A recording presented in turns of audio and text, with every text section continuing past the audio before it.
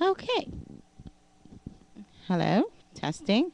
Testing, testing. I think we have a. Oh, here we go. Okay. All right. So we're back. Um, okay, so that was just a little lecture about how easy it is to train your own voice. Um, and um, but it is important to have a keyboard.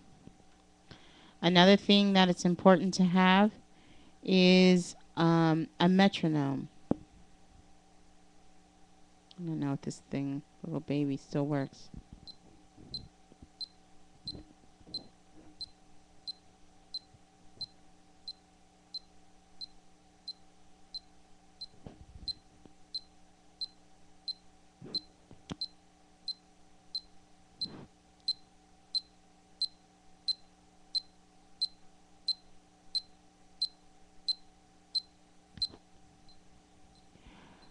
Okay, a metronome is a musical.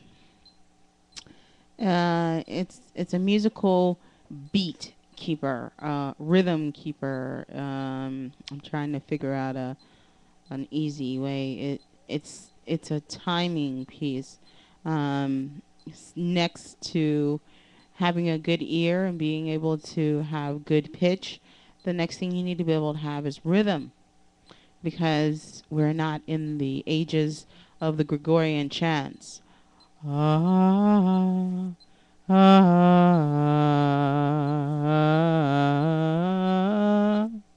ah, ah, ah.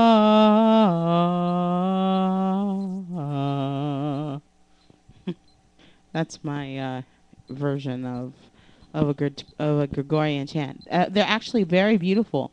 I'm not sure if, if YouTube has any Gregorian chants on on its site, but um, Gregorian chants are very very beautiful, beautiful. Um, so, um, so you want to have a metronome, and this gives you an idea of beat. One, two, three, four, you know, even uh, Boyz II Men, they counted down on that one song. Um, three, two, five, four, three, two, one. Injection Brothers. Ah, ah, ah. Mm. Uh, mm. Oh, it's Sunday, and I'm doing I'm doing some R and B stuff here. Some Boyz II Men. I'm telling my age. Uh oh. Anyways, so let's get back to. Um, we'll just finish up this lesson. Um, this little qu- short, quick lesson here. But a metronome is very important. Piano metrodome metrodome let me click this thing off here um i can't remember exactly how much this little thing this little baby cost me. And i think this is my second one. I had one when i was in college at dana school of music. But um i don't know if i bought this one at juilliard or not. I may have got this out of the juilliard store. Um um, the other thing is, um, the other important thing is to listen to um, singers that are like within your range. Like I tend to focus on music that, as far as in the, I'm I'm speaking about pop or um, out of, outside of the classical realm. Um, I um, I am a full dramatic coloratura soprano. Classically, that's who I am. That's what I do. Um, I I have mad crazy runs uh, and and vibrato and tremolo. Um, I have great top notes. I have whistle tones. Um, so I am your typical celestial soprano, and the one that takes the roof off the house. Um, but in the pop R&B uh, culture, um, I tend to listen to people that um, people that have great voices and that they I know they studied. I know they went to school. And one of the persons that I listen to a lot is Mariah Carey. And um, she uh, she really set it off for Sopranos. Um, so um, really, really, there's truly no other soprano out there like Mariah. You know. So she's one of the ladies that I listen to. But because I have um, I have a unique instrument where I have a very deep voice, as you can hear. In fact, when I was in college, my voice teachers used to be like, "Oh, you're speaking too low." So they used to give me these exercises that are like, "Practice every day, practice every day, practice every day, practice every day, practice every day." Hello, how are you? Hello, hello.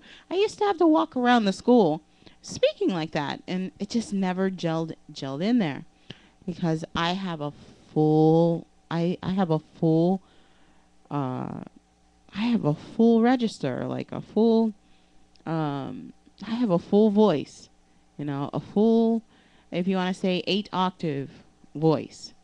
Um so there's a lot of things that I can sing. Um and I know since I moved to New York, a lot of people have tried to have tried to pin me down, you're this, you're that and I defy them all. Um, so uh, I tend to defy them. If you label me something, I'm gonna do it. I'm gonna do it anyways. And when I do it, I'm gonna do it in excellence. So, um, but uh, a voice teacher is a good thing if you're able to um, work with a voice teacher. Um, and um, that's really about it. Um, always, I always tell my students to always have something to drink with you at all times. That's even when you're not singing. Always have something. Have like a, you know, carry a little a little pint of water with you. Always have something so that your cords are always moist and not dry.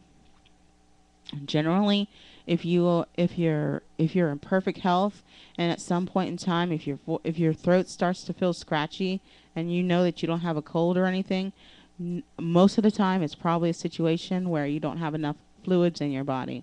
And immediately your vocal cords will let you know.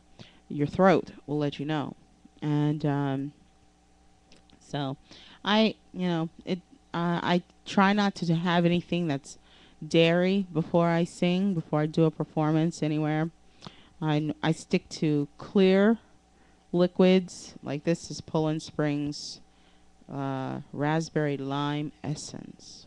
Ooh, and this is sparkly, because like I'm a sparkly person. Anyway, so, um, or like Perrier water, or um, there's some great, there are some great um, clear drinks that I got from um, living in Italy and Switzerland. Um, Pellegrino and um, I'm trying to remember all the other things that I drank over there.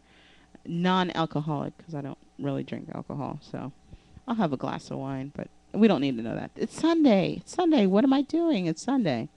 Okay, so that's that's it on the lessons today as far as you know things that you need keyboard metrodome have something to drink, and um, come back, and I'm going to start singing. Yeah. Amen.